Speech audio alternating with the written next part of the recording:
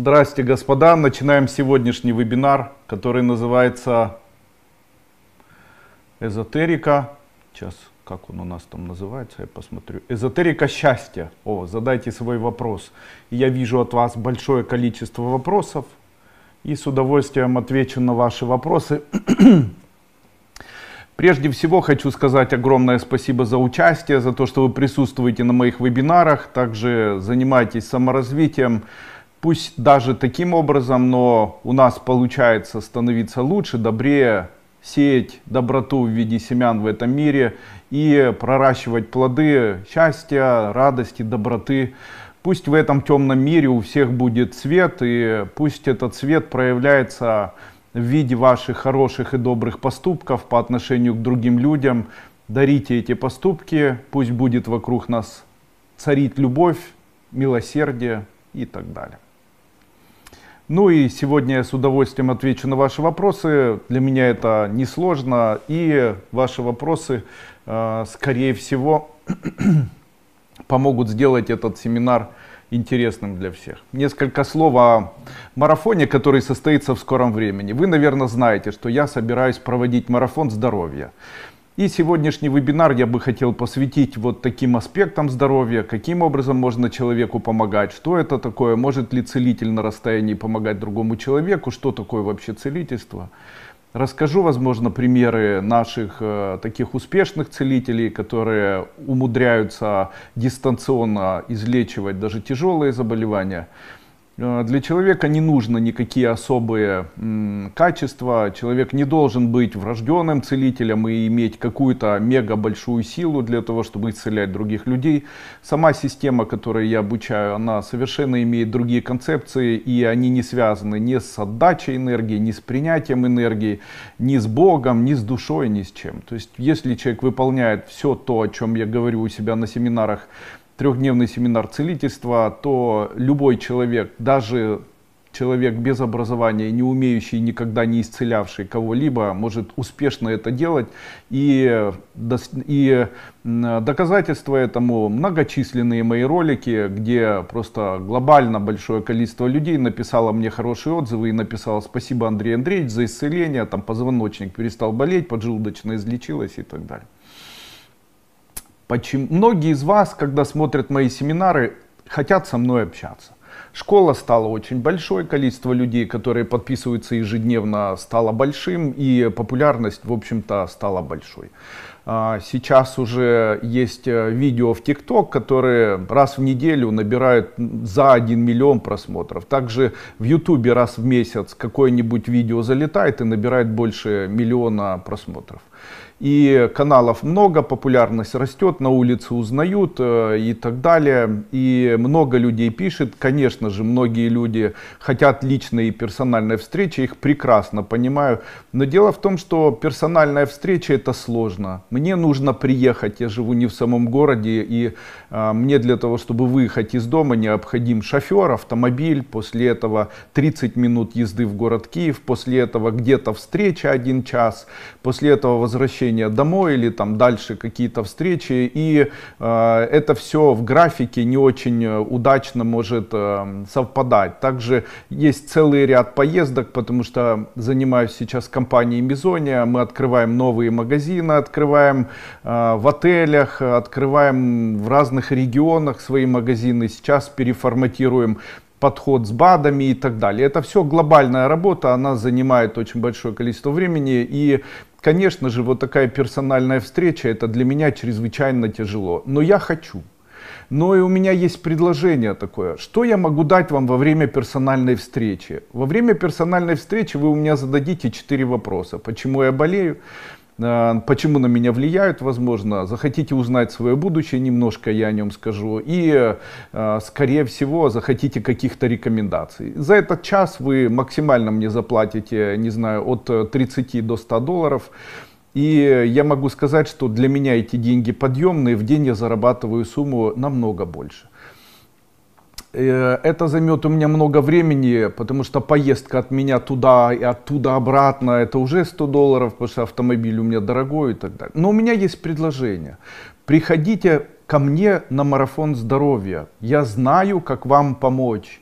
У меня есть новые механизмы и новые методы, которые работают в сотни и, может быть, даже в тысячи раз эффективнее, чем э, были э, в прошлый раз. Я знаю, каким образом можно излечивать быстро суставы, стоп, суставы коленей, суставы тазобедренные, суставы локтевые, артриты, полиартриты, артрозы.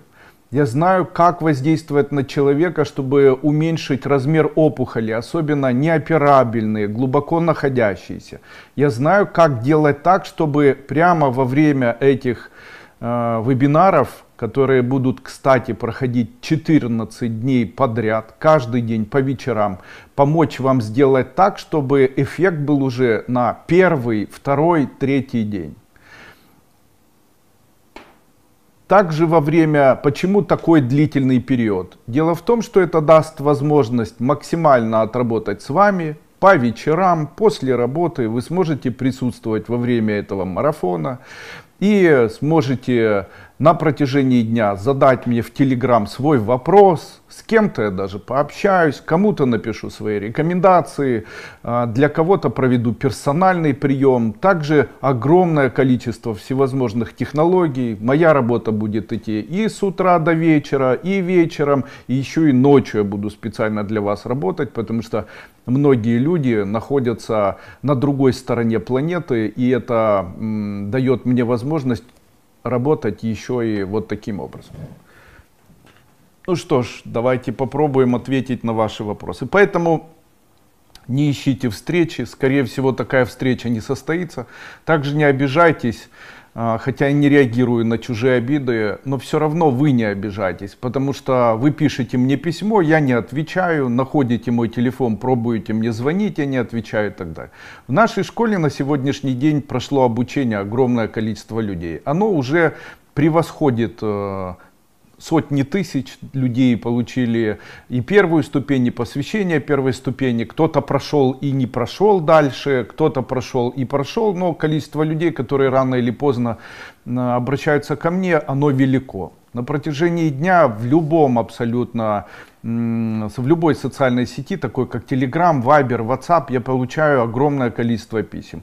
Иногда может варьироваться до 600. То есть, если вы мне пишете письмо, Андрей Андреевич, я прошу там то-то, то-то, то после этого знайте, что оно может быть одним из 600. Если у меня нет времени на протяжении дня посмотреть на эти письма, то на следующий день я его не увижу. Оно просто улетает вниз. Очень часто из-за этого человек думает, что я его игнорирую. А это в целом не так. Также вы должны знать, что социальных сетей много. Это Viber, WhatsApp, Telegram.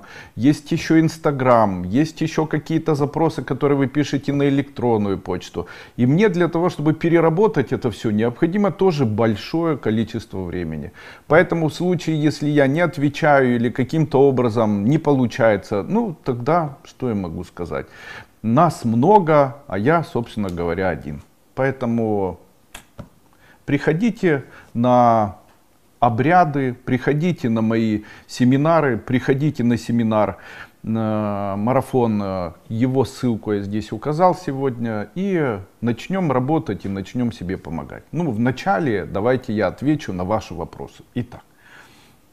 Галина Борисенко. Огромная благодарность, Андрей Андреевич, за советы, знания, добрую и заботу о людях. Гожусь, что стала ученицей школы Кайлас мира и процветания. Очень часто, большое спасибо вам, Галина Борисенко, очень часто я говорю своим ученикам, друзья мои, берите у меня прибежище. Что это обозначает? Часто человек нуждается в какой-либо практике, но из-за того, что в эзотерических школах или в эзотерических направлениях обычно большое количество практик всевозможных, как в, наверное, как в карате или как в каком-либо боевом искусстве выбрать какой-то прием очень или чрезвычайно сложно. И человек, когда попадает в какую-то ситуацию, зная тысячи приемов, в итоге продолжает заниматься тем, что он умеет рефлекторно делать. Именно поэтому вот такая рефлексия, она мешает, э, вернее, она помогает человеку. И самая простая практика, которая помогает человеку быстро преодолеть препятствия или быстро себе помочь, или быстро каким-либо образом справиться с болью, с операцией, с какими-то проблемами, процессами, нервами, паническими атаками и так далее, это получение прибежища. Ученик моей школы, который прошел первую ступень от начала и до конца, купив ее за свои деньги, эту ступень, таким образом он считается моим учеником, имеет право брать у меня прибежище. Так и говорить, Андрей Андреевич, помогите мне пройти таможню. Андрей Андреевич, помогите мне там то-то, то-то сделать. Или Андрей Андреевич, помогите, чтобы там магазин заторговал. Или Андрей Андреевич, помогите Таким образом человек берет прибежище. А я ежедневно по утрам занимаюсь тем, чтобы давать такое прибежище своим любимым ученикам. Ради вас, собственно, это все и устроено. С вами и живу, и всем стараюсь максимально вот таким образом помочь. На ночь перед самым сном читаю 108 раз мантру он крестная Васудевая Харайпара Матмане Паратат Клишанашая Говиндая Намах, что условно звучит так. Пусть великие боги Вишну, Кришна помогут человеку избавиться, поможет моим ученикам избавиться от тяжелой судьбы. А по утрам читаю Ом Бурбуахсахата Цаветурвариням Баргуду Асидамахидию Напчудет, что условно обозначает, пусть тепло наших сердец согревает тех людей, которые нас любят, и пусть разрушает наших врагов. И после чего читаю мантру нашей школы Пи Рироя Рироя, объединяя учеников между собой, э, что условно является определенным слогом, который желает абсолютно всем э, ученикам школы, по-моему, 120 там, или 121, 121 пожелания определенного счастья, чтобы родители любили, чтобы дети родители любили, чтобы здоровье было, чтобы деньги были, чтобы деньги были у вас и деньги были у ваших детей, чтобы ваши дети вас любили и вы детей любили, чтобы там ноги не болели, чтобы руки не болели, чтобы артрит не развивался, чтобы кровь чистая была. То есть вот такие, чтобы везение было и так далее. Поэтому быть учеником школы это хорошо. Проходите мою первую ступень, НАТО. Добрый день, рада вас слышать и видеть снова. Очень нравятся ваши эфиры, мантры и вообще. Отлично. Все, что идет от вас и ваш позитив, конечно же. Ура! СТР. Добрый день, уважаемый Андрей Андреевич. Можно ли аккумулировать себе любовь и счастье? Накапливать и наслаждаться этим. Когда человек рождается и лежит, то человек начинает коммуницировать с внешним миром. Каким образом это происходит? Человек начинает чувствовать, как большое теплое существо кормит его и заботится о нем. В этот момент появляется чувство. Чувство появляется в тот момент, когда человек понимает, что он ничего не дал, а ему что-то дают. Это как солнечные лучи. Они отражаются, фотоны отражаются от чего-либо и э, там дальше начинают лететь. Точно так же и любовь. Что такое любовь? Любовь это прежде всего не накопить, а прежде всего сделать что-либо для кого-либо. Дело в том, что когда вы живете в кругу людей, то любовь настоящего момента, она связана с безвозмездным желанием что-либо сделать для другого человека. Когда кто-либо что-либо для другого человека делает, то тот человек, которому вы делаете, он отправляет в вашу сторону чувство любви. Именно поэтому накопить чувство любви вы не сможете. Но вы можете его получить от другого человека, если осознанно будете для этого человека или для группы людей, или для кого-либо делать что-либо хорошее. Какие есть элементы, которые могут помочь человеку накопить и увеличить любовь по отношению к себе. Самый важный компонент это настраивание себя на то, что вы можете прожить как добрый человек. Настройте себя, что вы сегодня, миллион людей живут обычной жизнью. У миллионов людей есть претензии, критика, ненависть. У миллиона людей есть ненависть, критика, претензия, злость. Но у единиц есть доброта. Только у единиц. Вот эти единицы это люди, которые служат высшим силам, которые ориентированы на добро. Добро объединяет, добро собирает, добро делает человека счастливым и здоровым. Злость это критика, злость это э, претензии, злость это ненависть, злость это ругательство. Вот эта злость, она повсеместно, она проросла корнями. Я понимаю даже и знаю причины, почему такая злость. В буддизме это называется, ну неважно как называется, невежеством. Мы живем в веке Кали-юги, это век невежества. Почему нельзя Почему человеку, ну, вернемся все-таки к доброте. Ориентируйтесь на то, чтобы проявлять доброту. Человек может ориентироваться на то, чтобы проявлять доброту. Если бы в этом мире люди бы сориентировались на то, чтобы проявлять доброту больше, чем проявлять злость свою, а злость проявляется в том, что человек критикует кого-то, имеет претензии, то есть люди встают и там, ты то не делаешь, ты то, ты не такая, то не так. Это не так, это не так, я не такая. Они не такие, у них не так, и то не так. То есть видите, как много. Кому служит этот человек? Силам зла. А как может быть в тот момент, когда хочешь ругаться, не ругайся. В тот момент, когда хочешь на, нахамить, промолчи. Доброта и есть Бог. Понимаете?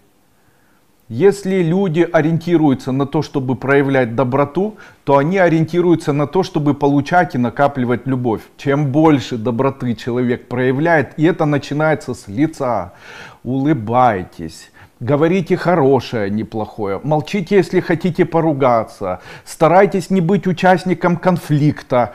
Старайтесь особенно это делать для своей семьи. Наша доброта начинается внутри нас. Почему? Вот э, представьте себе огонь. Он находится у вас, этот огонь в чаше.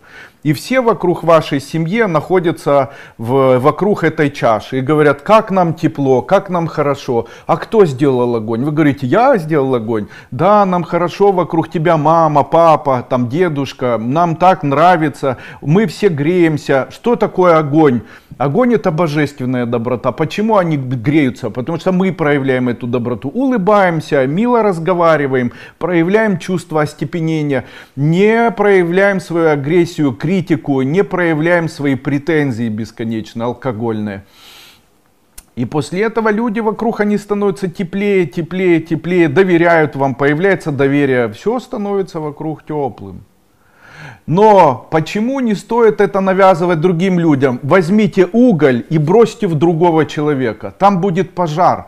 Именно поэтому со своей добротой в чужую семью лезть не стоит. Поэтому если я возьму и буду говорить, Лена, да он к тебе относится плохо, я проявляю к тебе доброту, бедненькая, не нужно, я жалею тебя. Конец и Лене, и семье. Вы взяли свой уголь и бросили Лене тогда вы являетесь источником зла. Поэтому коммуницировать можно, а накапливать не нужно. Мы не накапливаем доброту. Почему? Потому что нам ее никто не дает. Почему? Потому что у нас на лице написано, что мы какашки, в большинстве своем. На людей смотришь, на лице написано, что человек вреден. Мы не контролируем, с возрастом становимся кислыми, вредными.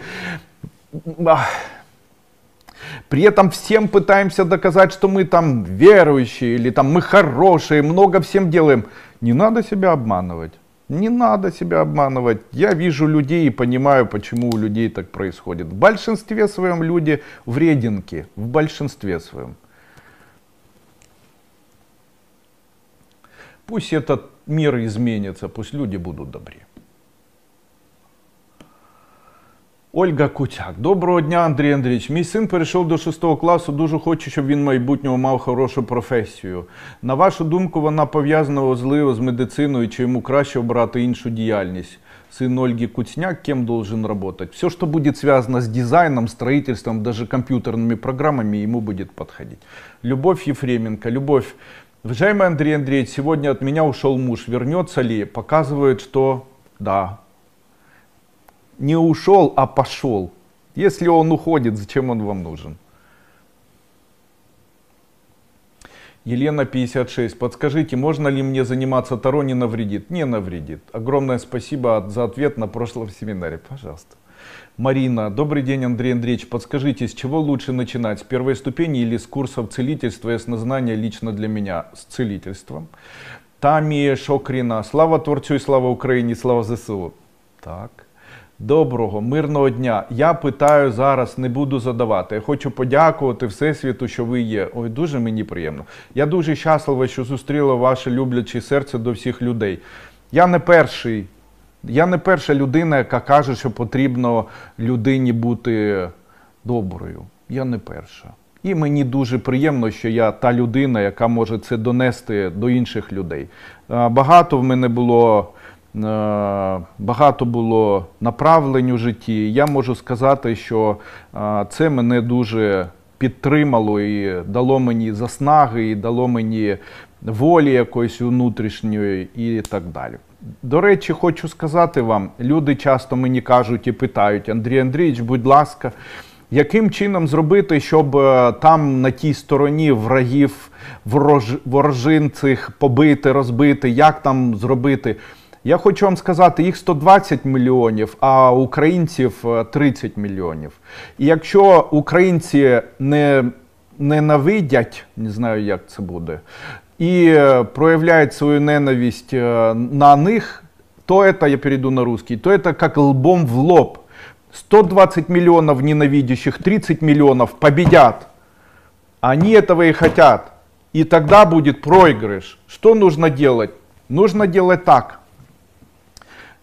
Нужно всем вместе в этой стране настроиться на семьи и обожать семьи, обожать детей. Если бы сейчас, сегодня, все бы сказали, смотрите, в этой стране, сказали бы, я люблю свою жену, я люблю своего сына, сынок, иди ко мне, я тебя поглажу, иди ко мне, моя дочка, я тебя поглажу. Мне нравится, как я просыпаюсь, мне нравится, как я живу, обожаю их, обожаю.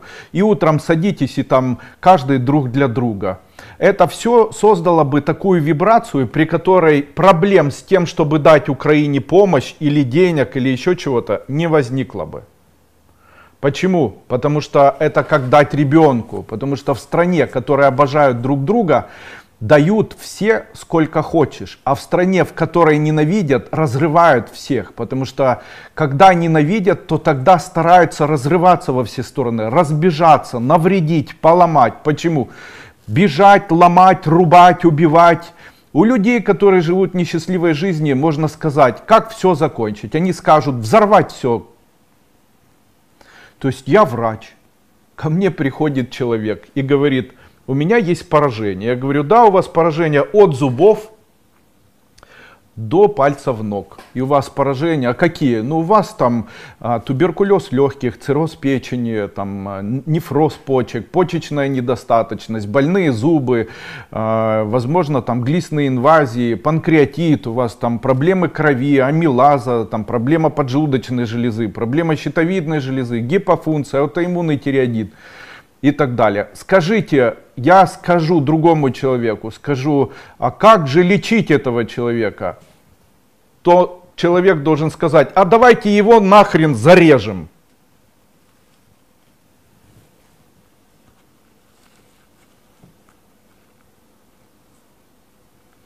Это вообще что? Это по-человечески. То есть Иисус Христос две тысячи 24 года назад обучал людей тому, как быть милосердными. Вы же забыли.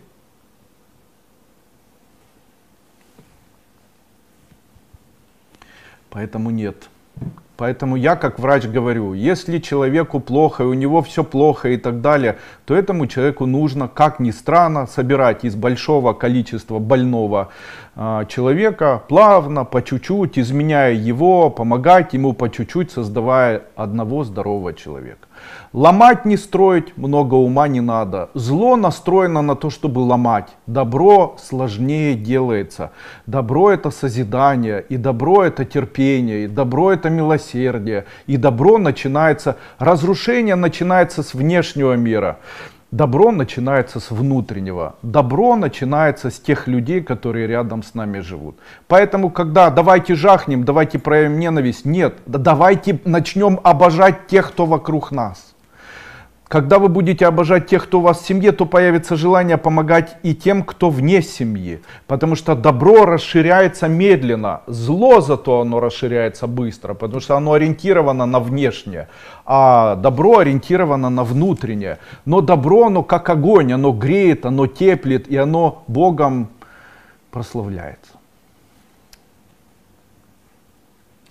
Доброго дня. Андрій Андрійович, потрібна ваша допомога, сину 36 років, немає дітей. Порадьте, що робити.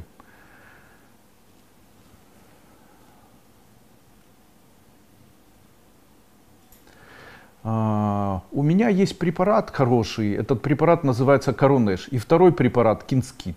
В случае, если проблема детей, которая сейчас есть у них, она не связана с их физиологическими проблемами, то есть там э, сперматозоиды активные, у девочки там хороший антимюллеровский гормон, э, нет проблем с прогестероном, эстрадиолом, у мужчины нет проблем с тестостероном, то есть по-другому нет проблем со здоровьем а дети не появляются, то тогда можно попробовать данные препараты. Они действительно очень эффективно помогают. Еще, а, кто влияет на, кто тормозит появление детей? А, в индийской мифологии считается, что а, Шани или Сатурн блокирует появление детей. Блокирует появление детей и говорят, что это может быть в случае, если человек навредил птицам синего цвета. Вот так. Во сне или наяву, как-то так.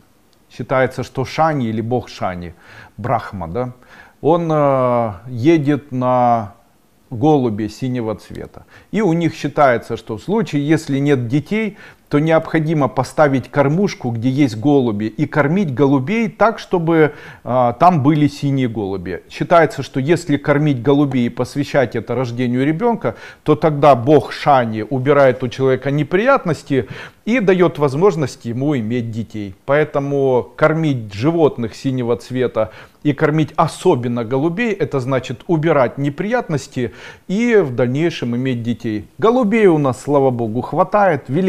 Великолепный метод, пожалуйста, используйте. Наблюдение Моны Лизы спрашивает, буква Z. Здравствуйте, очень прошу, дайте найти обручальное кольцо, только на вас осталась надежда. То есть вы хотите, чтобы я сейчас искал обручальное кольцо? В четверг 4 числа дала обещание не терять, не оставлять вещи не в попад. Нет, вы до свадьбы его не найдете, но не переживайте, после свадьбы вы его найдете. Оно находится у вас на самом видном месте и возле выхода из квартиры или дома, где вы живете, ну из квартиры. По правую сторону лежит на чем-то белом. Мне кажется, это вообще постель. Светлана Вапарпол. Андрей Андреевич, вопрос. Мне стоит уезжать с Израиля в Украину? Да, вам очень тяжело в Израиле жить. Я прямо смотрю, у вас прямо слезы, и они дальше у вас как расширяется вот этот поток. И будете очень страдать. Нет, нет, вам а, ну, тяжело там. Вам это точно не ваша страна, вы очень страдаете. Она вам как-то не зашла. Оксана Гречинская. Доброго дня, уважаемый Андрей Андреевич. 13 лет одиночества. Смогу ли еще встретить своего мужчину? Показывают, что сможете встретить. Марина Скляр. Выиграю ли я суд? Вернут ли мне дочь? Спасибо. Это произойдет не быстро, но ваша семья, ваша и дочь, и вы воссоединитесь. Не быстро, но это произойдет. Андрис Эльхенбаумс то украшение, про которое спрашивала, не купила карту, заблокировал два раза, была в банке, но не отблокировал по со мной так постоянно. Если у человека есть блокировки, блокировки отдачи, то это блокировки отдачи, которые связаны с тем, что у человека есть блокировки отдачи. Как человек обычно отдает? Если человек хочет что-то сделать, он должен, допустим, человек должен сказать себе, я выхожу, встать и выйти. А если человек делает так, я выхожу, пошел к двери, потом забыл, повернулся, идет обратно. Или я вот хочу это сделать, переключился еще на что-то. Вот это все называется блокировка намерения. Поэтому не обещайте и не делайте, нельзя этого делать. Обещаете что-то кому-то, старайтесь сделать. Говорите о чем-то, старайтесь, чтобы это произошло. Если намерение у вас есть, там открыть дверь, откройте. Если взять что-то, возьмите. Если поесть, поешьте. А так ночью обычно эти намерения происходят следующим образом. Человек лежит, и у него булькает в животе, он говорит, надо пойти покушать. Надо пойти, встань, иди и поешь. Это твое намерение. Так будут люди потом с тобой рассчитываться. Человек лежит и говорит, так, надо пойти. Нет, нет, не надо пойти. Надо пойти холодильнику. Нет, нет, не надо. Надо пойти холодильнику. Нет, нет, не надо. Надо пойти. Надо пойти, встань и иди. Не блокируй свои намерения. Иди и ешь. Ничего страшного. Весь мир в труху. Почему? Тогда и люди будут у вас покупать. Человек будет приходить к вам и говорить, так хочу купить, так покупаю и забирает. А так будет, так хочу купить, ну не знаю, подумаю, так хочу купить, не знаю, подумаю. Видите, это намерение, мы их блокируем. А наша энергетическая структура, она обучаема, хоть и ментально, как бы несущественно. Поэтому она обучается проявлять именно таким образом намерения. И по отношению к нам также намерения проявляют другие люди. Почему? Мы есть отражение этого мира. Поэтому если вы говорите, пойду покушаю, нет, не буду. Или я позвоню, нет, не буду звонить. Я скажу, нет, я не скажу. Что это такое? Хотите, делайте. Валентина Чорна. Доброго дня, скажіть, будь ласка, чи вийде моя донька Альона 41 рік заміж, вона розведена майдо? Вийде за Сережу чи Сашу. Галина Близ. Когда будут улучшения в здоровье? Благодарю вас. Так а вас почему они должны быть? Вы ничего не делаете для того, чтобы у вас были улучшения в здоровье. То есть вы как жили вот такой жизнью обычной, так и живете. Почему, не изменяя ничего в жизни, у вас должны произойти изменения в здоровье? Ничего не могу понять. Почему? То есть, если бы у вас была работа какая-то над этим здоровьем, тогда могли бы быть изменения. А так вы, не меняя ничего и не делая ничего для этого, ничего и не получаете. И дальше вот деградация это происходит, к сожалению. Аталя, скажите, почему эзотерические практики у меня срабатывают намного лучше и быстрее на приграничных территориях, чем в глубине Украины? Когда человек просыпается утром, есть люди, которые рождены для того, чтобы делать зло. Это люди, которые ориентированы с самого детства там, уколоть, ударить, э, э, э, иметь претензию, сделать больно, постоянно критиковать. Есть дети, которые наоборот там, стараются поддержать, если кто-то плачет, обнять. Это частое явление. Люди рождаются с этим. Есть тип людей, который живет по принципу служить злу. То есть они вокруг себя делают очень много зла. Это там, э, это комментарии, какие-то критика, это звонки, это бесконечное там из, изматывание близких, это абьюз, я это называю. Это может быть даже через внешний вид, плохой запах от человека, внешнее проявление нетерпимости, негатив и так далее. Такие люди обычно служители не, не теплым силам и не добрым силам. И когда человек делает эзотерические практики, в случае, если они нас, настроены, а, каждый человек служит каким-то силам. В случае, если эти силы деструктивны, они могут тоже помочь человеку и денег больше заработать, и быть более богатым и так далее. И, конечно, больше всего силы там, где больше всего крови. И, конечно, нужно меняться, нужно изменять себя, нужно изменять свое поведение, нужно сказать себе, мы очень часто, кстати, думаем, находясь рядом с близкими или находясь рядом с кем-то, что мы создаем вид умного, хорошего и доброго человека. Но это не так. Это не так всегда. Когда вы живете, вот у меня была встреча такая недавно, такая девочка красивенькая, у нее сестра, мама, они так с ней возятся с этой девочкой, она, ей уже почти 30 лет, она никогда не работала, она никогда ничему, она ничего не умеет делать там и так далее. Но она дома маме помогает, там у брата там ребенок родился, она с ребенком помогала. Она нереально хорошая, хорошая такая. И вот как-то я с ней начал общаться и э, говорю ей, э, говорю ей, э, да а что? Я говорю, у тебя, э, у тебя хорошая судьба, у тебя хорошие родители, все теплые. И тут она говорит мне, я вам, Андрей Андреевич, хочу сказать, я их ненавижу. Как? Почему? И она говорит, папа в детстве меня обижал, он мне постоянно говорил, я не такая, я не такая, я не то. Мама все время мне говорит, я не такая, я не то, я не такая, я не то. Сестра говорит, что я дура, я не такая, я не то. Никто меня не поддерживает, меня никто не любит, э, никто вообще, я одинокая, вообще живу вот так вот для всех, на меня никто не обращает внимания и так далее. Я говорю, милая моя, что с тобой? У тебя есть проблемы. У тебя есть проблемы, потому что твоя жизнь прекрасная, ты нигде не работаешь, они все тебя содержат. К чему я это говорю? Дело в том, что так мир устроен. Когда мы думаем, но если сказать родителям это, они не поверят. Потому что отец ее сто процентов искренне считает, что его дочь его обожает. Сестра или брат сто процентов уверены, что она обожает. И мама сто процентов в этом уверена. А это не так. И получается такая красивая, добрая, теплая девочка с таким вот большим толстым червячком внутри, ненавидящим и не умеющим прощать. Вы представляете? И это так очень часто происходит. Там, э, мать, которая бесконечно работает, содержит своих детей и очень сильно помогает всем вокруг, потом приезжает, и оказывается, что она всех достала, ее все ненавидят, и куча претензий к ней и так далее. И она говорит, меня они все обожают, меня все обожают. Обожают, потому что деньги отправляешь, а потом приходит приходит время, становится старой и вообще никому не нужной. И потом деление имущества, и потом кто будет смотреть за престарелой мамой, вообще неизвестно. Ну вот так оно, знаете. Поэтому, когда человек говорит, э, э, я хороший, или я добрый, или я теплый, то нужно разобраться, насколько это происходит. Самое страшное, что есть у человека, это претензии. Не предъявляйте претензии этому миру. Старайтесь жить без претензий. Я говорю вам серьезно. Если человек живет без претензий, то высшие силы ему дают просто так, что он захочет. Даже не желайте денег, квартир, машин, мужа, ничего. Бог вам даст, если вы хороший человек, Бог вам даст так много, для счастья, что вы даже будете чуть-чуть в шоке от того большого количества счастья, которое есть.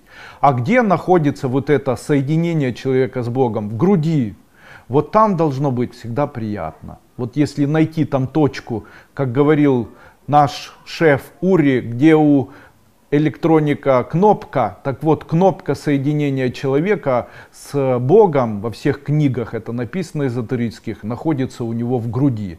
Вот если там приятно, то если там приятно на протяжении дня тысячу раз, держитесь, ваша жизнь будет идеальной. Даже не нужно ничего хотеть, потому что высшие силы дадут вам больше, чем даже вы захотите. Потому что человек говорит, вот бы мне однокомнатная, вот бы мне однокомнатная, а потом говорит, да пусть мне Бог даст, я не знаю, какая мне там, пусть будет, какая я хочу счастья.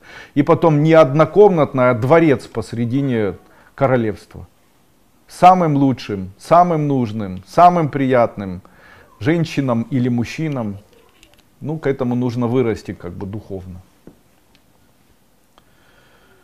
Лена Кравчина. Дорогий наш вчитель, о, це я. Підскажіть, чи допоможе техніка вимолювана для сина, щоб став спокійнішою, почав і почав дружно жити в сім'ї з невісткою і дитиною. Його проблема така цілком основна. Вона заключена в тому, що він дуже ображався на батька, і дуже ображався на матір свою, і йому потрібно покаятися. Сказать это нужно ему. Смотрите, как его можно быстро изменить. Нужно ему позвонить и сказать, я тебе хочу что-то рассказать, мой сынок. Когда-то у меня с твоим папой была история, и он сказал, как тебя любит. Он сказал о том, как он тебя любит, как он тебя обожает, и хотел бы попросить прощения, но вот не смог, он такой человек тяжелый. И я хочу тебе сказать, всю жизнь я жила только одной мыслью, чтобы тебе было хорошо. Просто так тебе говорю, ничего от тебя не хочу, просто об этом знай. Мы не просто тебя любим и растили, не просто для того, чтобы ты там жил, не жил, ты просто должен знать, мы тебя обожаем. В этот момент открывается у человека счастье если ему мама родная может это сказать. Один раз даже по телефону ему это скажите. Один раз ему по телефону скажите это, и это сто процентов изменит целиком его судьбу, вообще целиком. И начнет хорошо относиться к маме, к, к невестке и к детям и так далее. Потому что это все кармическое. А вимолювання це потім. Валентина Бондар – Внучка Ангелина, 23 года, встречается с парнем Бруно уже год. Можно дарить на годовщину, поженятся ли они? Показывают, что поженятся. Такой этот Бруно колбасняк. Такая девочка хорошая, такой Бруно себе. Видите, тоже у девочки не, не очень хорошая карма, раз Бруно. А наши девочки хорошие а бруны все такие вот. Здравствуйте, Андрей. Скажите, боги других религий, что с ними делать и можно ли их использовать в эзотерике? Милые мои друзья, раскройте глаза. Высшие силы использовать нельзя. У высших сил можно только попросить. Поклонение любым высшим силам – это фактическая просьба. Поэтому поклоняясь Сарасвати, ум приобретете, а Ганеши – защиту и красоту, а Хануману станете, э, получите защиту от врагов, а Иисус Христос убережет от э, зла какого-нибудь. Иисус Христос поможет человеку быть добрее, потому что Иисус Христос многократно проявлял свою доброту, даже в тот момент, когда мог сказать, что вы предатели, и там, помните, да, эти истории. А Будда говорил о том, что терпение должно быть, о том, что добрым должен быть человек. Вообще, просматривая все абсолютно религии, всех абсолютно богов, в большинстве своем самые, наверное, ну нет, конечно, не всех, но самые популярные, они проявляли всегда милосердие и максимальное терпение к людям. Конечно же, не все конечно же, не всегда терпение и так далее. Но здесь есть тайна. Когда люди открывают Ветхий Завет и читают истории Ветхого Завета, то они должны знать, что это эпос. Это эпос иудейского народа. То есть это эпос, как Бог создал человека, который был, который, из которого появился потом род, и потом помните царствие или цари. То есть там говорится о царстве, о царях иудейских, о том, как они сначала получили знания божественные, после этого получили скрижали, после этого получили завет Божий, после этого начали соблюдать заповеди, пытались перейти с одного места на другое, сохраняли свои идеи, делали ковчег. Не закрывай, Маш, не закрывай делали ковчег, там, э, делали и так далее. И это вот история царей. От э, Моисея до Суламиф известна эта история. То есть начинается это все Моисеем и заканчивается это, а, плачем, на, заканчивается Еремией, не Суламиф, а Еремией. И вот это, почему она такая кровожадная? Дело в том, что кровожадность этого Ветхого Завета, она не связана с тем, чтобы напугать человека, она связана с нейролингвистическим программированием людей. Почему это? Дело в том, что я заметил и могу прямо на 100% говорить, что э, если взять э, саму Библию или Ветхий Завет или Тору, и э, создать определенную звуковую вибрацию этой книги, то появляется определенная вибрация. Данная вибрация, она на 100% такая, которая отбивает или разрушает плохое все вокруг человека. То есть устраняет зло, устраняет убийство, устраняет разрушение.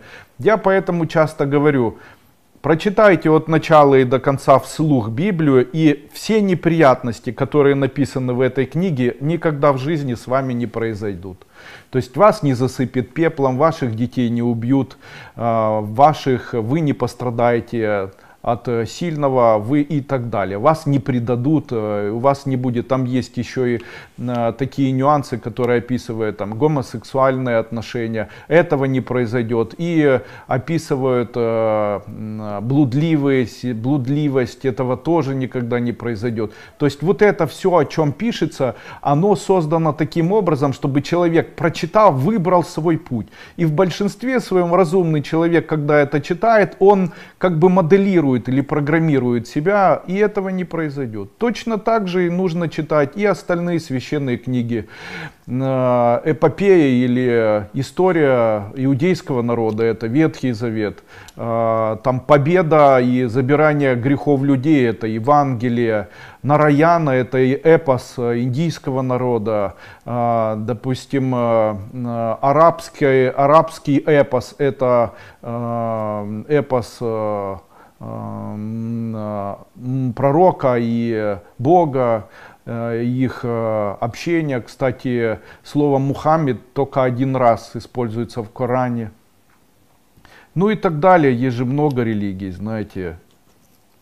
Поэтому читая, почему у человека, почему человек, который движется в духовном пути или на духовном пути, почему человеку необходимо знать или прочитать хотя бы один раз от начала и до конца? Читая один раз от начала до конца, что-то происходит с нашей душой. Да, когда читаешь, так все неинтересно. Засыпаешь там, вообще ничего не понятно. Там, а. Но когда один раз прочитал, что-то там отложится, не отложится, не имеет значения. Правильное в вас запульсирует. Прочитав Коран, становишься добрым, теплым, хорошо к семье относишься. Прочитав Евангелие, становишься добрым, теплым, хорошо относишься к близким. Э, эгоизм исчезает, хочется жить для кого-то. Прочитав Библию, становишься сильным, целеустремленным, решительным, отважным. Прочитав Бхагавадгиту, становишься спокойным, не так тебя беспокоит будущее, потому что появляется какая-то уверенность в завтрашнем дне. Ну и так со всеми знаменитыми Упанишады прочитав, появляются вообще какие-то идеи космические, появляются картинки жизни, начинаешь по чуть-чуть по-другому вообще мир видеть. Но прочитать это ж набор слов, знаете. Они тайные, закрытые, их читать нужно, просто читать. Поэтому боги других религий не нужно ими никак пользоваться, потому что человек создан для того, чтобы, ну, так пишут, восхищаться и просить у них. Поэтому восхищайтесь и просите, но точно не пользуйтесь. Вообще выкиньте это слово. Я буду пользоваться дзамбалой и буду привлекать в свою жизнь деньги. Все, не будет ни денег, ни дзамбалы, получите еще по голове. Это у вас еще до сих пор вот такой вот эффект пользователя. Кто такой человек, чтобы пользоваться высшими силами? Кто такой человек? Их нужно расположить. Вот смотрите, когда ребенок бешеный, его хочется воспитать. Кто будет воспитывать? Родитель. А если ребенок хороший, ему хочется дать хорошее образование? Да. А кто будет давать? Родитель. Тогда смотрите, то же самое с людьми. Если человек бешеный, если вокруг него совершенное бешенство, если он всех колотит вокруг себя, у него будет удары судьбы? Несомненно. А если человек хороший, ему будут помогать высшие силы? Несомненно. Тогда с чего необходимо начинать? Собственной души. Милые мои. Олена Артюшенко. Вітаю, Андрій Андрійович, дякую за вашу роботу. Олена 44 роки. Підскажіть, чи вийду я заміж за Олександра? Якщо так, то коли? Только на один вопрос. Замуж, скорее всего, выйдете. А вот коли не скажу. Що мене чекати на новій роботі? Третий вопрос. По одному, зайчики. Марьям. Здравствуйте, уважаемый Андрей Андреевич. Я переезжаю в США, штат Филадельфия в ноябре. Будет ли для меня удачным? Да.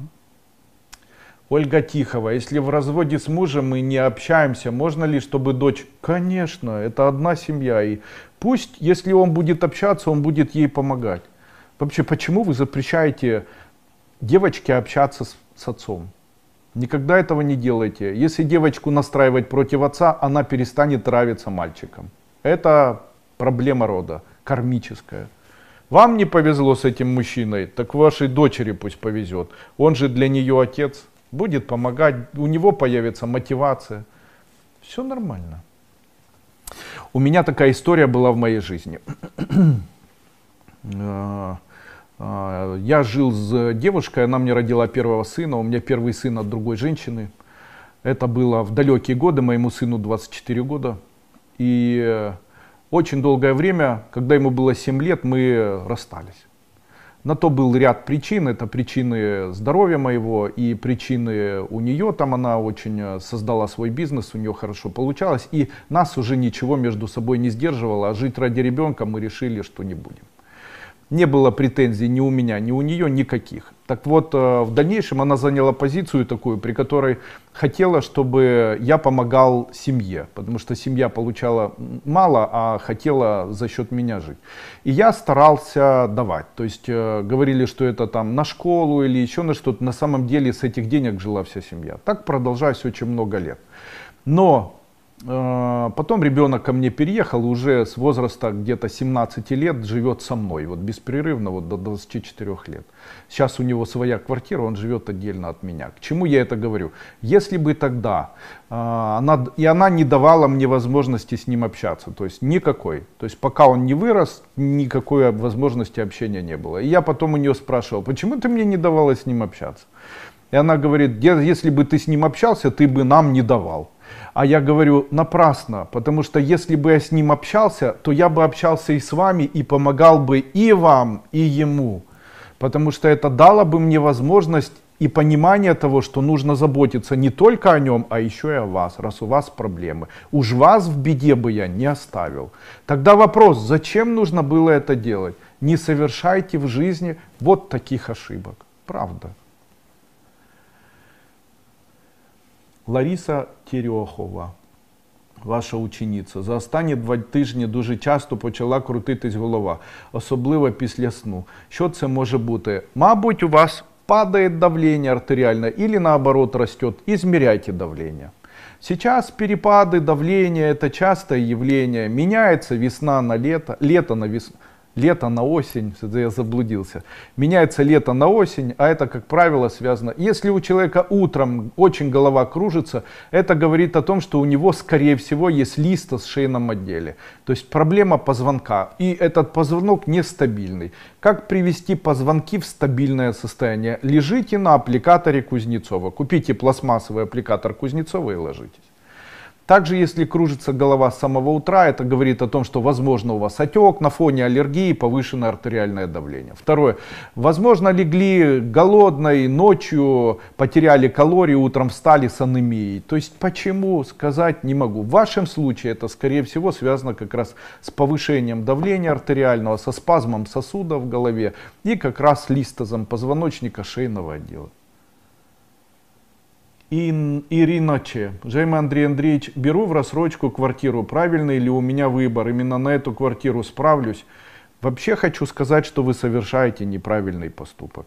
Вы не сможете ее выплачивать, эту квартиру, и э, ну, не будет у вас прямо того, что вы хотите, знаете, и она такая у вас будет неуспешная. Простите за слова, я не смог э, удержаться, чтобы это не сказать. Вы, конечно, вправе делать все, что хотите, вместо вас не принимаю решения. Но если знаете что-то, то хотя бы травку можно подложить у вас не получится ее выплачивать, вы залезете в долги, и с этим будут связаны целый ряд проблем, как бы неудачное время, неудачная задача, неудачный кредит, неудачные проценты, неудачный банк, неудачная жизнь, неудачная работа. У вас так много всего неудачное, а вы просто возбуждены и не можете уже тормознуть назад. Поэтому извините, сори, я ни при чем. Здравствуйте, Андрей Андреевич, Армида, 44, моя дочь Ани, 19, пошла учиться на первый курс. Как будет проходить учеба? Будет проходить тяжело для нее, ей будет тяжело. Нужна ваша поддержка, помогайте. Вера милостная, желание начать работать на программе Amazon. Компьютерные книги вместе с дочкой, но она боится, что не получится. Что посоветую нам, посоветуете нам? Целеустремленности. Начнете, если каждый день будете на это тратить 4-5 часов, то первые большие деньги начнете зарабатывать через 2-3, даже больше лет. Но не ждите с первого раза и не ждите даже через год больших выплат, а работать вам придется много. Поэтому получится, да, через 6 лет сможете зарабатывать в месяц по 20-30 тысяч долларов через 6 лет. Но через 6 лет упорного ежедневного труда по 10 часов каждый день или там по 7 часов каждый день включая субботу. Через 6 лет будете зарабатывать по 20-30 тысяч долларов пассивно. А что я могу вам посоветовать? Терпение, упорного труда, не обращение внимания на то, что не получается. Время, которое вы потратите на это, сможет вас поднять и вы сможете победить. Очень часто люди начинают делать, потом проходит время, отворачиваются и отходят. Это ошибка обычных людей. Нужно всегда знать, что ребенок начинает ходить медленно. 9 месяцев ребенка вынашивает, потом тяжелейшие роды, потом ребенок еще год пробует там э, развиваться, потом он начинает делать первые шаги, а уже до того момента, пока он станет олимпийским чемпионом, необходимо колоссальное количество времени и упорной работы. То же самое происходит, когда человек начинает заниматься каким-либо бизнесом. Первые шаги всегда неуспешны, и они не могут быть успешными, и никогда не были успешными. Так не бывает, что человек захотел, открыл, и у него тысячи продаж. Не бывает такого. Вы должны знать, что на Amazon на сегодняшний день находится больше 370, по-моему, там тысяч э, пользователей тех, которые представляют товары. И, скорее всего, где-то тысяч двадцать будет аналогичных людей, таких же, точь-в-точь, как вы. И вы должны будете работать с этими людьми по принципу конкуренции. И вы уже сейчас должны знать, как вы собираетесь конкурировать с этими людьми, в чем вы лучше. Посмотрите опыт самых лучших. Посмотрите, кто их контингент. Посмотрите, как они представлены в Фейсбуке и так далее. Посмотрите, есть ли у них YouTube каналы. Вот таким образом. А так я напечатала книгу, ее GPT мне написал, я ее опубликовала. Сами прочитайте. Дайте кому-то прочитать. Вдохновляются люди, когда читают или не вдохновляются. Кто ваша аудитория читателей? Где эти люди представлены? Делайте уже группу, развивайте ее, публикуйте, зачитывайте что-то в Ютубе, развивайте это как э, популярную тенденцию, становитесь популярными в этом направлении. Вот так. А так я книгу решила продать, опубликовала книгу и так далее. Нет. У меня была девочка, она говорит, Андрей Андреевич, я хочу взять вашу книгу «Магия денег» и вашу книгу хочу опубликовать на Amazon, на английском языке. Хорошо, ну ты ее не продашь. Она говорит, как, я ее читала, великолепная книга, там супер вообще. Ну не продашь, я тебе говорю. Она говорит, почему? Ну потому что конкуренция очень большая. Количество книг по эзотерике больше 100 тысяч. И конкурировать среди 100 тысяч с этой книгой будет невозможно. А еще среди 100 тысяч 20 тысяч написали о магии денег. А какое? Ну вот ты должна найти нишу людей, которые... Ну а как найти? Так вот, если бы знал прикуп, жил бы в Сочах. Как найти, непонятно. То есть это медленный анализ аудитории, медленный... А где этот анализ? Это отзывы, комментарии какие-то и так далее, которые вот люди пишут, если вы к ним выходите, там прямые эфиры, еще что-то. Таким образом формируется мнение о своей аудитории. Это тяжелый путь.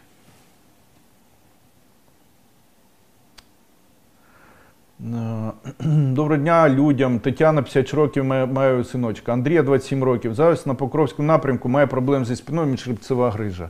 Пусть возьмет нашатырный спирт и в день по два, по два раза натирает позвоночник и межреберную невралгию нашатырным спиртом.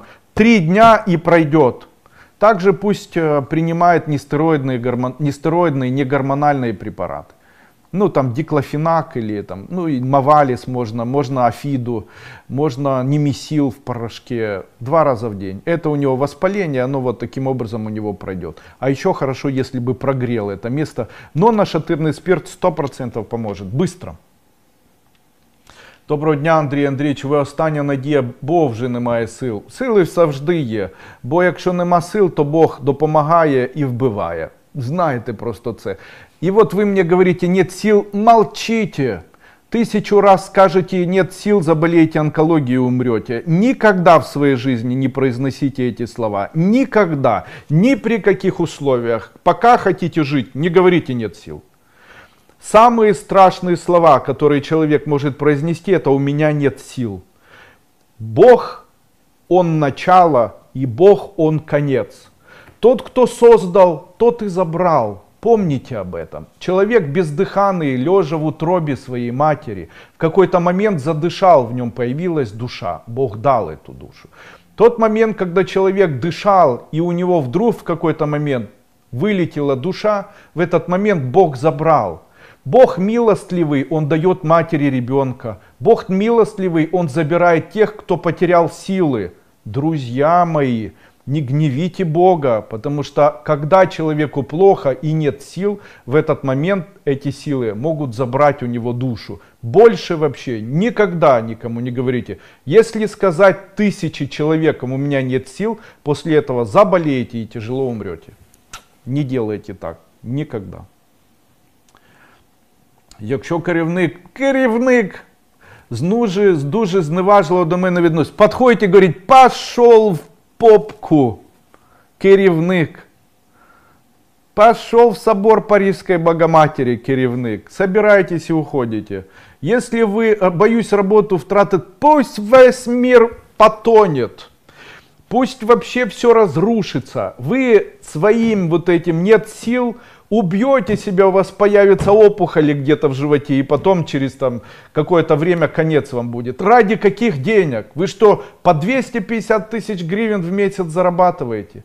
На тот мизер, который вы работаете, к вам плохо относится, и вы чего-то боитесь.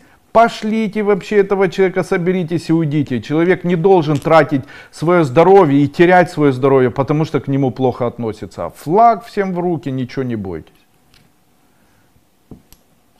Нет, не понимаю вас. Боюсь работу втратити, а ви не бойтесь.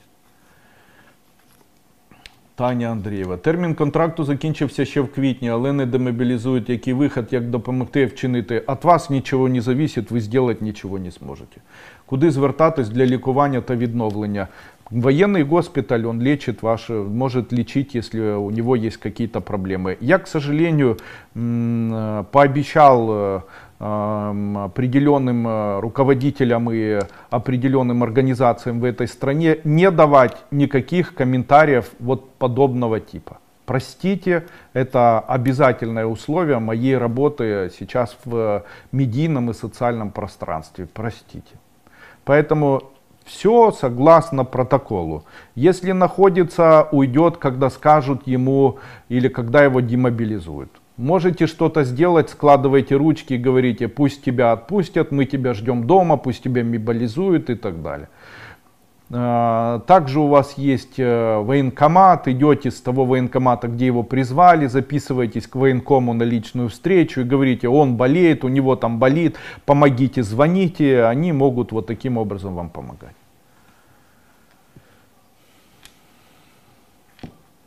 Ганна Санюк. Доброго дня, не знаю, чи можна задавати такі питання. Та мене мучає все це. Старший син одружений, дітей немає. Моєму молодшому сину 37. А він до цих пір одружений. Ну і що?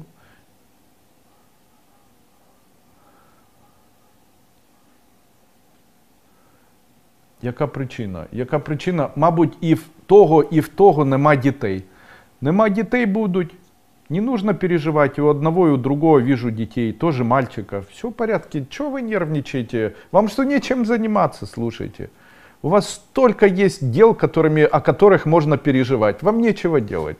Все в порядке, у одного, и у другого родят они детей. Анатоль, можно ли практиковать 43 утром, вечером не хватает времени? Да. Юлия Костюченко, 7-22 года, Никита сейчас на фронте. Будет ли фортуна на его стороне? Будет. Как защититься ему? На протяжении дня представляйте, будто вы его кормите грудью. А он, вот вспоминайте, когда он был маленьким ребенком, прикладываете его мысленно к груди, пусть он пьет молоко, а вы его гладите и говорите, маленький мой, любим тебя, сыночек мой, любимый мой, золотой мой, любим тебя, любим тебя, родной мой, золотой мой, зайчик мой, золотой мой, любим тебя, ждем тебя, возвращайся, обожаем тебя, пусть все дороги для тебя откроются, иди к маме, мама обнимет и будет тебя всегда. И вот так вот делайте в день четыре раза, это его защитит. Андрей Андреевич, пожалуйста, когда лучше безопаснее поехать в отпуск к подруге в Англию или в Канаду? И когда? В сентябре или в октябре? Все равно. И в сентябре и в октябре поездка будет хорошей. Вообще такая хорошая поездка. Такая веселая подруга у вас. Наталья Полтенко. Дорогой Андрей Андреевич, встречаюсь с доктором. Станет ли моим мужем? Скорее всего, да, Наталья. Хороший дядя. Чуть-чуть с вывихом, но так, в общем-то, все мужчины. А вы тоже себе еще такая себе вредінка. Татка ті. Підскажіть, будь ласка, хочу змінити роботу, але не знаю, чи вийде в мене щось. Получится, міняйте. Елена Степанова, не обращаясь к вам за советом, решила, как молиться и благословлять мужа, когда он путешествует, чтобы все прошло без помех, он вернулся здоровым и счастливым. Складывайте руки и говорите, возвращайся ко мне, мое солнышко, мой любимый. Представляйте дорогу от себя и до момента, куда он должен уехать, и потом от того места и до себя. И представляете ее каждый день белого цвета. Что такое благословлять? Это славить его поступки и говорить, Пусть твои поступки будут праведными, пусть твои поступки будут хорошими, пусть твои поступки будут умными. Благословляю тебя. Пусть твои поступки будут счастливыми, пусть твои поступки будут для семьи. Благословляю тебя. Вот таким образом происходит через слово «пусть твои поступки». Потому что мы можем программировать человеческие поступки. Именно поступки делают человека создают у человека неприятности. Поэтому любые неправильные поступки делают проблемы. Любые правильные. Поэтому благословляют на поступки. Виолетта, встречу я в этом или в следующем году своего мужа. В этом следующем если в следующем, то в конце года.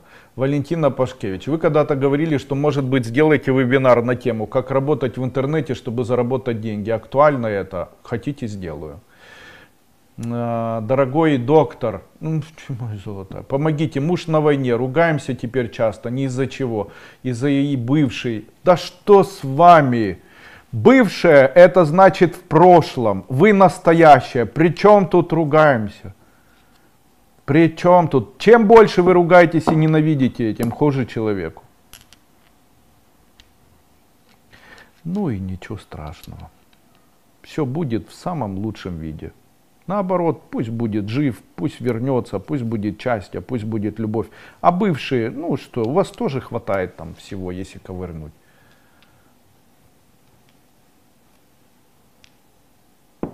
Знаете, когда-то Иисус Христос сказал, что не нужно другому указывать на соломку в веке, не видя своего собственного бревна. Вероника Вербина. Мой сын на фронте получил контузию, головные боли не проходят, лекарства не помогают. Что вы можете посоветовать? Не ко мне, к неврологу, психиатру посоветовать ничего не могу. Умоляю, посмотрите, Абрамов Олег Леонидович жив? Нет, не отвечаю на эти вопросы никаким образом. Аліса Бутінець, дякую за ваші цікаві зустрічі та поради. Живу та працюю за кордоном. Чи потрібно змінити, змінити все і переїхати не на часі? А, если будете переезжать, будет хуже раз в 50. И у вас и так не сильно хорошо, но все равно терпите. Таким образом вы выкупите себе хорошую судьбу в дальнейшем жить в радость, творить в удовольствие. Хороший ник. Получится у меня развить свой бизнес в том направлении, которое я выбирала. Очень тяжело будет идти. Как скоро мы сможем с семьей приобрести свой собственный дом отдельный от тех, с кем сейчас живем? Не быстро. Это произойдет в течение ну, минимум трех лет. Поэтому расслабьтесь и накапливайте деньги. Не истерите в этом направлении у вас еще нету бизнеса, но вы уже дом собираетесь. С чего? Чем больше вы строите пирамиду, тем сильнее она падает. Для того, чтобы не разочаровываться, не очаровывайтесь. Если человек хочет очень сильно, и работу хочет хорошо, и уже хочет развивать, и дом хочет уже, и а что еще, корабль, еще в космос полететь, конец. Тогда чем сложнее программа в будущем, тем она сложнее в настоящем исполняется, тем дольше времени это будет развиваться. Вот если дом мы хотим, но еще бизнеса нет, то бизнес будет развиваться десятилетиями. Какой дом? Живите как можете. Развивайте бизнес, думайте только об этом. Думайте о бизнесе и о деньгах, больше ни о чем. Доброго дня, Андрій Андрійович. Я лише декілька днів як натрапила на ваш канал. До того я не цікавилася езотерикою. Вважала всіх езотериків шахраями, але на свій подив повірила вам і серцем. Ну, это ваше дело, я ничего не могу сказать. Спасибо. Если это комплимент, отлично.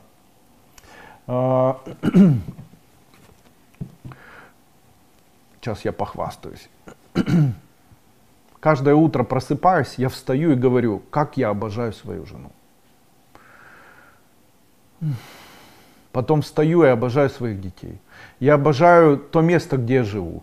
Я обожаю сад, который у меня есть. Я обожаю свои зубы, когда чищу. Сегодня в спортзале велосипед крутил и обожал. А вчера был в бане, мне тоже очень люблю баню. Парился. И я люблю кушать. И я люблю маму и у меня хорошо получается зарабатывать. Я помогаю друзьям, я помогаю стране, я помогаю людям в интернете и без интернета. Я выучился и э, победил э, онкологическое заболевание, но я им уже не болею. У меня много детей, счастливая семья, и получается жить счастливо, мы не ругаемся, это по-настоящему, у нас нет претензий, нет склок, я не посылаю никого, мы ничего никому не доказываем, моя жена счастливая, я ее целую, люблю, она помогает в бизнесе, сама как бизнес-леди реализовалась. Мне нравится, как все происходит, обожаю, как растут дети. Все мне нравится. И это все благодаря тому, что я занимаюсь эзотерикой. Моя эзотерика дала мне помощь, и это является тот путь, который меня вдохновляет и помогает мне быть успешным. Потому что в мире, в котором есть конкуренция среди обычных людей, конкурировать обычному человеку, такому как я, невозможно с другими людьми, потому что самым умным ты не можешь быть, самым хитрым тоже, самым сильным тоже, самым, я не знаю, самой сексуальной нет, самой красивой тоже нет, самой хитрой тоже нет, самой продуманной тоже нет. И здесь может э, быть третья сила. Тот, кто знает третью силу, тот всегда добивается всего. Если взять всех самых знаменитых людей – которых вы видите по телевизору, то всегда рядом с этими людьми либо они эзотерики какие-либо, либо рядом с ними находятся те, кто является эзотериком. Рядом с каждым политиком, добившимся высоких результатов, есть либо религия, либо секта, либо какое-то лицо духовное, либо какой-то учитель, либо там кто-то, либо кто-то. Так уж этот мир устроен. Рядом с царями были фараоны. Рядом с э, царями были служители, рядом с кем-то были там церковнослужители и так далее. Так уж устроен этот мир. Э, одни, допустим, э, в Израиле, одни работают, а другие с утра до ночи о них молятся. Поэтому у них и одни, и другие помогают друг другу. Одни утром шма читают, а другие бегут на работу и таким образом выживают. Поэтому обычно, когда говорят э, эзотерика, вся фигня. А кто говорит? Так как кто говорит? Неуспешные люди, которые ничего в жизни не добились, неуспешные, несчастливые, злые, блудливые, алкоголики, вреденные, там, злобные. Ну так, а, слушайте, это их дело, мне это даже не интересно. Я вообще даже никогда не заявляю, что моя правильная и так далее. У меня концепция, ее для себя выдвинул, и моя философия помогла мне обрести счастье в жизни. Даже если эта философия поможет из сотен тысяч моих учеников двум сотням быть счастливыми, то это сто процентов говорит о том, что я правильно это делаю. И правильно то, что я делаю, э, это того стоило. Ради этого стоило жить. А, я обычно не обращаю внимания, если люди считают меня вредным, какашкой, если меня считают мошенником. Почему? Главное не поворачиваться лицом, потому что пока тебе плюют на спину, ты этого не чувствуешь. Поэтому лицом к плевкам я никогда не поворачиваюсь. Добрий день, шановний Андрій. Андрійч, якщо можна, скажіть, будь ласка, чи буду я в парі, чи зустріну ще кохання, всі 6 років самотності після втрати. Щиро вам дякую за подсказки, позитив. Так, будете ще. У вас є, є їдуче е, знайомства і е, життя совмісне, сумісне, не знаю, як це буде на українському. Світлана Загур, Евгур. Андрей Александрович, скажите, пожалуйста, есть ли человек, который мешает нашему счастью с мужем? Нету. Поэтому у нас нет детей. Нету, не увидел такого счастья у вас, которое мешает вашему счастью. Не увидел. Нет. Проблемы с здоровьем у вашего мужа. Вот хорошо было бы ему со здоровьем, знаете. Вам не вред надо искать, а помочь своему мужу. А так вы, получается, мужу не помогаете, еще и стресс ему постоянно делаете. Ольга Зуева. Меня зовут Оля, мне 48. Подскажите, пожалуйста, бизнес мужа угасает. Стою перед вопросом, в каком направлении развиваться. Психолог, педагог и целительство. Целительство хорошо будет. І розумом є питання. В одному вашому відео ви кажете про користь медитації, де уявляю себе в білому, чорному, золотому, а в іншому ви кажете, що такі практики можуть принести шкоду. Так. И я еще раз говорю, что да, есть польза от того, что человек может представлять себя и в черном, и в зеленом, и в желтом. И есть вред от того, что человек может себя представлять и в черном, и в желтом, и в зеленом, и в голубом, и в белом. Так, допустим, если есть онкология, то можно это место наполнять белым внутри. А если наполнять просто так белым, то будет разрушение органов и появятся панические атаки. Так вот, видео, скорее всего, это отрывок. И оно было там опубликовано для того, чтобы не обучить человека, а направить его на получение информации. А получить информацию это значит пройти первую ступень эзотерической школы Кайлас. С этого необходимо начинать профессиональное обучение профессиональной эзотерики. Ребята мои, нет, нельзя наесться, если вам бросают по маленькой крохе. Вы не сможете компилировать и объединить эти знания. Вырывая по одной крошке, вы не сможете наесться. Это ловушка. Вот эти отрывочки по одной минуте это не знания. И они могут как вредить, так и помогать. Знаниями является полноценная ступень эзотерической школы Кайлас. Хотите изменить судьбу, стать удачным, успешным, жить как и я под флагом счастья и радость. Идите ко мне и проходите первую обновленную ступень школы Кайлас. Я обещаю каждому, кто прошел первую ступень школы Кайлас, обновленную, обещаю, что каждый человек получит обратно от меня деньги в случае, если это ему никак в жизни не поможет и не изменит его судьбу.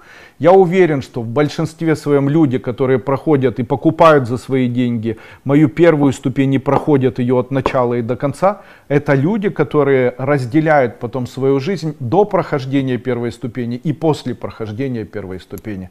Это в большом количестве подтверждено.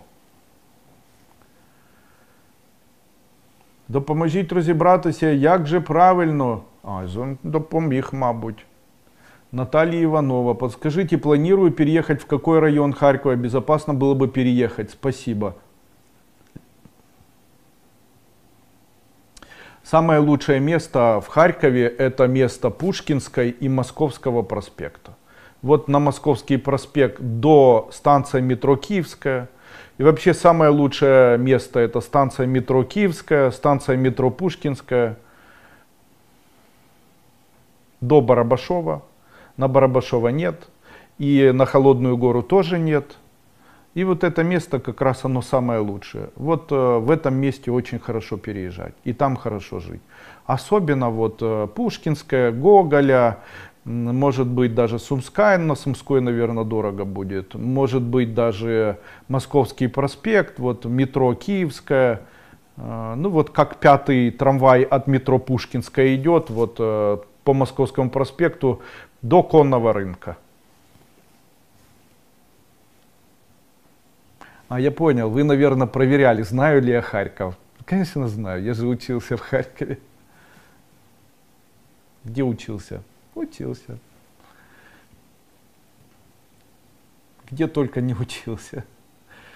Невозможно объяснить словами «вы это все». Когда кажется, что тонешь морально, вы вовремя приходите. Спасибо.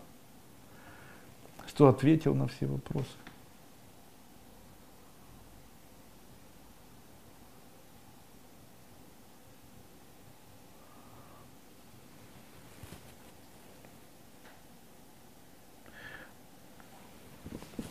надо быстрее.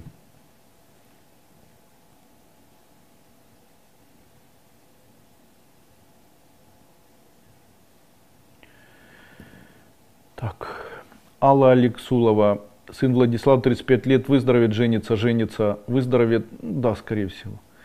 А, Инна, Инна, Инна Луза, Андрей Андреевич, сможет ли сын Илья выздороветь, жить без таблеток? Сможет заметно во много уменьшить количество употребляемых таблеток, но скорее всего полностью на 100% не излечится. Мария Лопатнева. Изучая вторую ступень, вопрос, мне дальше идти на третью, да, или лучше пойти на интенсив по целительству? На третью. Андрей Андреевич, вы изменили мою жизнь, хочу поблагодарить вас, поклон, спасибо. Александр Лифт, добрый день, Андрей Андреевич, буду эмигрировать из Украины, показывает, что да.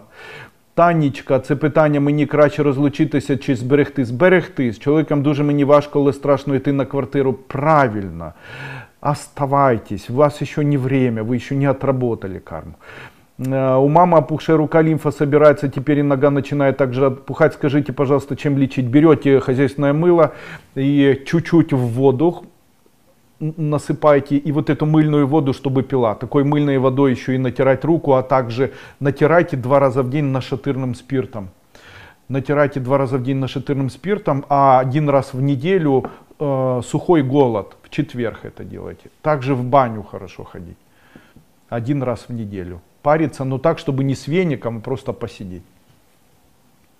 Інна Іліцька, літ, Лізі 15 років, кожен рік, коли починається навчальний період, у неї починаються проблеми з підшлунковою, чи є їм може допомогти.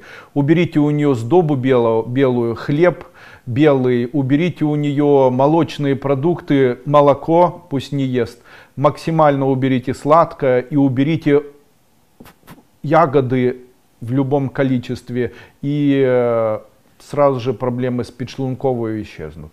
У нее реакция на высокую кислотность, особенно если от ягод. Ни мороженого, ничего. Вот если это уберете, все, поджелудочная начнет правильно жить. Светлана Ючук. У сина Сергія не складається життя хворіє, став дуже пасивним, як допомогти вийти з цього стану. Ніяк не зможете допомогти, потрібно вже обрати, ну, вже е, звернутись до лікаря.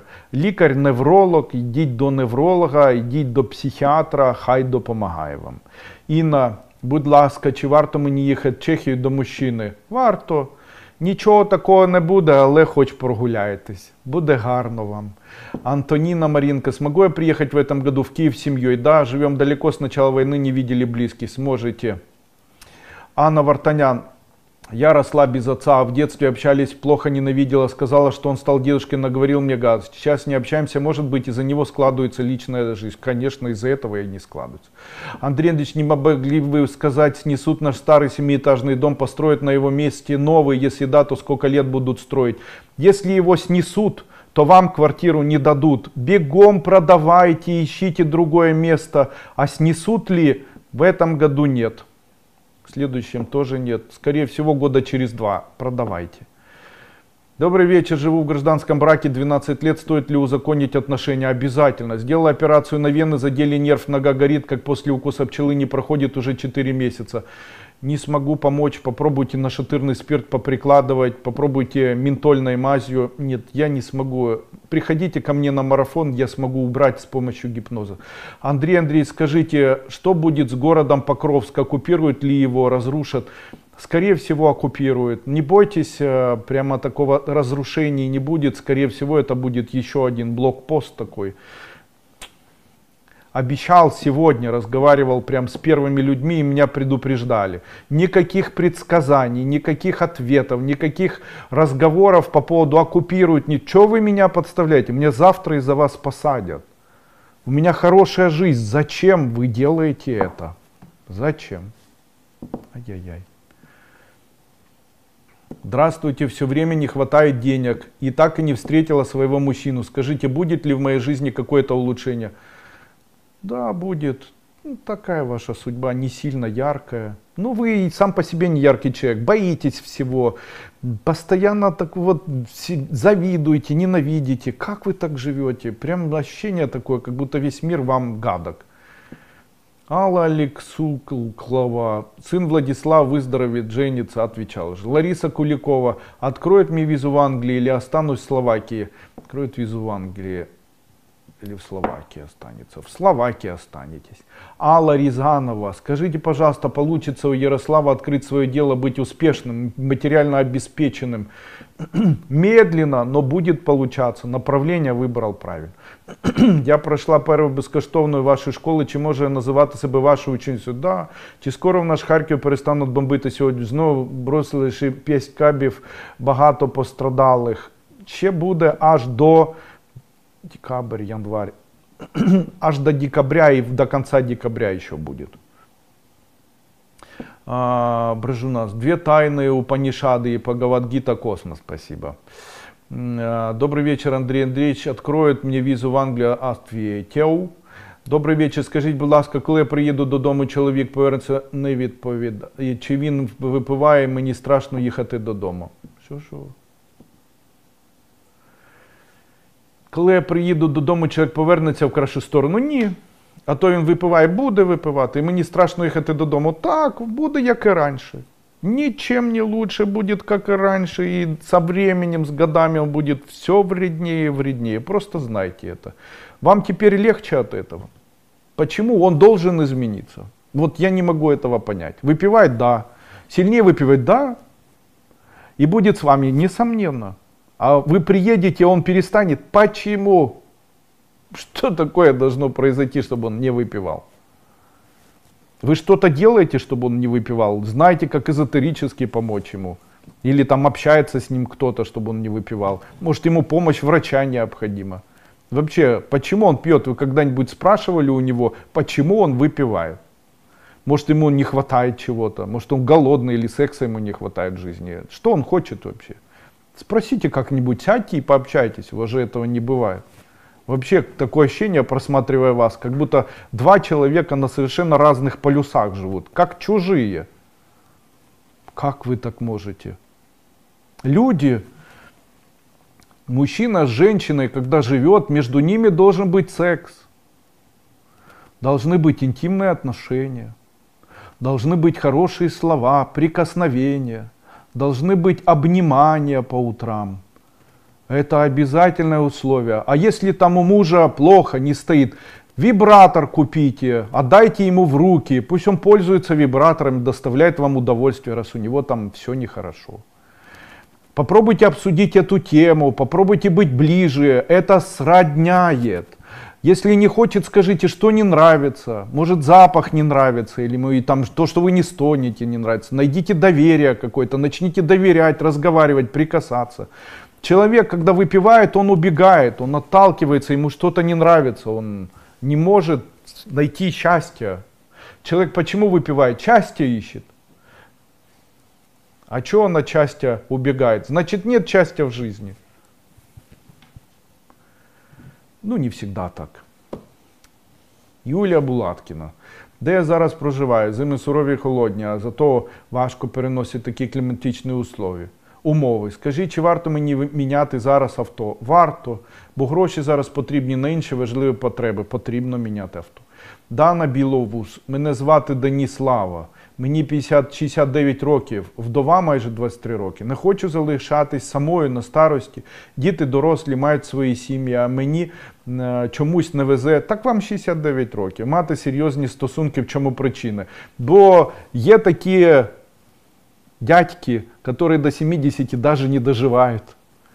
Мужчины в постсоветском пространстве некоторые до 70 даже не выживают. А если до 70 выживают, то имеют уже ну вот совсем тяжелое состояние. Как физически, так и морально и так далее. Оно вам надо. Вы что, хотите, чтобы рядом с вами находился дедушка, которого нужно будет кормить, ухаживать за ним? А если плохо станет? Найдите друга, так и ищите себе друга. Они же захотят интима. Вам друг нужен. Не надо вам мужчина, найдите себе подругу. Найдите подругу, пустите какую-нибудь подругу, чтобы с вами жила. Там два месяца вы с ней, два месяца она с вами. Можно заботиться. Возьмите себе, возможно, там а, животное какое-нибудь, заботьтесь о животном. Ну, столько же тепла дает там. Красивое, большое, там, дога, они как дети. Или, допустим, можно баллонку, это прекрасные собаки. Я, кстати, обожаю баллонок. Здравствуйте, Андрей Андреевич. Какое из направления целительства мне выбрать? А что, очень много есть направлений целительства. Какое направление целительства? Целительство. Выбирайте направление целительства. Мой семинар «Трехдневное обучение целительства». Юрий Пегасов, наши машины, подскажите, пожалуйста, перейдут на электроэнергию другую? Нет. Смогу ли я приехать в этом году в Киев с семьей? Живем далеко. Сможете? Найду я работу, переехала в деревню и все. Найдете. Аж с, с, после Нового года. Шановний пане Андрію, чому так боляче зранку ступати, поки не розхожусь, щоб это у вас полинейропатия на фоне, скорее всего, развивающегося артериосклероза или даже сахарного диабета второго типа. Идите к эндокринологу і неврологу. І ще, будь ласка, коли перестануть гинути кожного дня харків'яни. О чем мы говорим? Война закончится в марте следующего года. Еще вот до этого времени будет все это происходить. Познайомилась на роботі з чоловіком старшим від мене, просто спілкуємось. Відчуваю, що дуже прив'язується до мене. Ні, він хоче від вас інтима. Уж повірте, не прив'язується. Не прив'язується. Мужчина не привязывается к женщине. Мужчины все самостоятельные существа. Если интим понравится, будет жить дальше, если свободный. Не понравится интим, ничем не привяжете. Мужчина ради денег, как женщина, жить жизни не будет. Не будет ради удобства жить никогда. Если в постели ему не нравится, если в постели вы не ахаете, не притворяетесь, не кричите, не говорите ты самый обалденный, то жить с вами не будет. Если сделаете это, начнете ахать, охать, интим будет, то вот после этого ваш. После этого ваш. Это особенность такая. Они не ищут привязанности, и не надо им ни душа, ни ваши глаза, ни ваши там знания, ни ваш опыт, ни ваш... Ничего это не интересно вообще.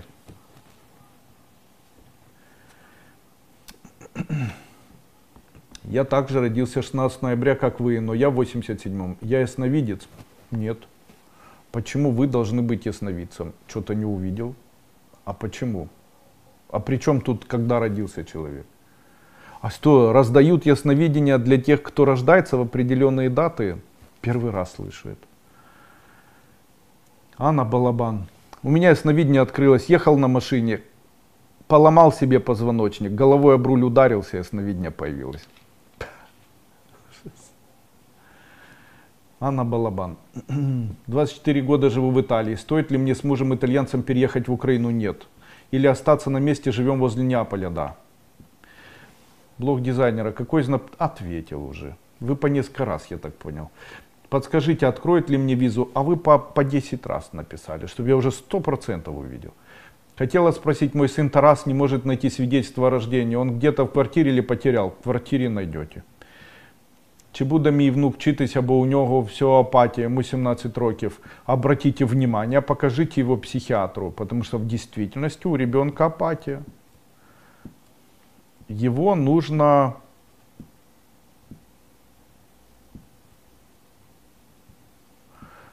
Ему нужен кальций. Давайте ему кальций. Начнете давать кальций, апатия пройдет. Андрей Андрей, спасибо за ваши знания, любовь к людям. Сын Георгий, сможет ли построить успешный международный бренд одежды и обуви, как реализовать финансово успешным? Так много вопросов. Сможет ли бренд популярный, международный? Не сможет. А почему? Не знаю. Для того, чтобы сделать, вот смотрите, мы открыли компанию Мизония, опубликовали сайт. После этого сайт красивый. Но на сайт на протяжении полугода зашло аж целых там 3000 человек. Было 5 покупок, ну 100 покупок. А, после этого решили это все продвигать. Открыли каналы, открыли, открыли группы, а, начали публиковать. Ой. Начали публиковать. Идет трансляция, да? Начали публиковать, там не получается и так далее. Начали вкладывать деньги в рекламу, в модных журналах, постах, постерах.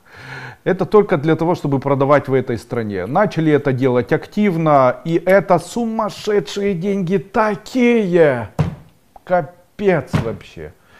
Вообще такие сумасшедшие деньги вы даже не представляете. То есть вот если я бренд одежды собираюсь сделать, то мне необходима аренда магазина. Смотрите, магазин 120 метров в модном торговом центре обойдется вам в аренде от 15 до 20 тысяч долларов напаковать туда одежды, я когда-то занимался таким бизнесом, туда пойдет одежды на 300 косарей. Таким образом можно заплатить первый, последний и третий месяц, еще и входные деньги, если это модное место в торговом центре. Того получается еще сотка. Для того, чтобы открыть один магазин модной одежды где-нибудь в Европе вам потребуется 400 тысяч долларов. Для того, чтобы открыть 5 магазинов модной одежды, вам, соответственно, нужно будет 1 миллион 200 тысяч. А у вас нету даже сотни. Какой магазин, какой, какая, какой одежды? О чем вы вообще говорите сейчас? Другой вариант. У вас есть вот эти деньги, которые у вас есть, там 30 тысяч. Но нужно тогда пошить какую-то одежду, там один-два, сделать одновременно там группы, э, популяризировать, вкладывать деньги, чтобы кто-то о вас писал и так далее. Об этом должны медленно говорить. Нельзя построить крупный международный бизнес запросто. Это огромное количество вложений, это очень круто.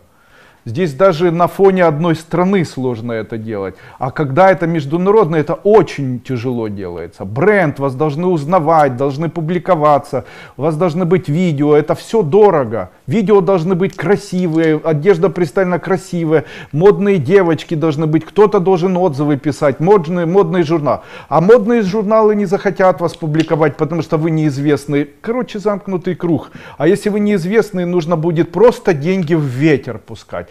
Для того, чтобы делать бренд, нужно взять маркетологов, которые будут пускать ваши деньги на ветер на протяжении одного года. Через год начнут покупать. И там нюансов много, потому что важно иметь тех, которые умеют работать. Важно самому в этом понимать. Да, там столько всего. А если он не занимался, у него этого не было, и он работал на кого-то, то он просто не знает этих подводных камней. Все такой бизнес, который делается десятилетиями. Выйду замуж, будут дети. Да, выйдете замуж, да, на парадайз. Да, на парадайз. Я болею по-женски. Мне вас очень жаль. Подскажите, можно выполнять практики СНГ, слушать шумы, если дома спят дети? Можно. Скажите, я встречу мужчины для жизни, а вдова Альбина 49. Встретите, нужно похудеть. Если в спортзале встретите, сидите в спортзал. Если, будучи у меня с мужчиной, о котором я все время думаю, мы познакомимся чуть больше двух месяцев назад – нету будущего. Чи заберут моего сына на війну? Показывает, что нет. Добрый вечер, очень хочу развивать бизнес. Все, проехали. Дякую вам за відповідь. Там, де я живу з чоловіком в Харкові, буде безпечно так. Я выйду замуж не на 48, выйдете. Я желаю вам успеха, радости и счастья. Уважаемые друзья, в это тяжелое время, скорее всего, многим нужна теплота, радость и комфорт жизни – вы видите, как маленькими шажками, но я помогаю все-таки людям хоть немножко прийти в норму. И даже вот такими советами иногда, возможно, кого-то поддерживаю. Такие маленькие подсказки, возможно, кому-то дадут силы жить дальше, прожить эту жизнь от начала и до конца и сформировать свое мнение о том, как поступать или как делать так, чтобы не сделать еще хуже. И, конечно же, мне в это время необходима и ваша поддержка. Она заключается в том, чтобы вы мне тоже помогали. Каким образом? Я не требую от вас денег. Они мне, ваши деньги, не нужны. Я единственное, что прошу, написать комментарий под данным видео. Какой? Не здесь в чате, а сейчас, когда закончится это все, то вам необходимо поставить лайк и написать свой комментарий и подписаться на мой канал. Этого будет достаточно для того, чтобы, э, для того, чтобы в дальнейшем э, э, YouTube индексировал это видео и его смотрели дальше. А еще лучше, если вы его отправите вашим близким, возможно, кому-то наверное, будет интересно. Но я не знаю, может он быть интересным с таким количеством вопросов вообще, которые, мне кажется, никому не интересны. Если же вы хотите меня отблагодарить финансово, то можете перейти по любому из э, данных э, э, ссылок, спросить у оператора, как это сделать. Буду рад любому донату. На сегодняшний день я, моя компания, также компания Мизония и компания Школа Кайлас и Тибетская формула, мы помогаем ЗСУ и делаем все для того, чтобы в этой стране помочь тем, кто в этом нуждается. А нуждается много, потому что есть люди, которые находятся в госпиталях, есть люди, которым необходимо обмундирование, есть люди, которым необходимо много чего, знаете, и а, кто поможет, если не такие люди, как обыкновенные люди. Поэтому, поддерживая нас, вы фактически поддерживаете еще и этих людей. Большое вам спасибо за участие. До свидания. Не пейте алкоголь. Алкоголь разрушает людей и разрушает семьи. Будьте терпеливее и добрее.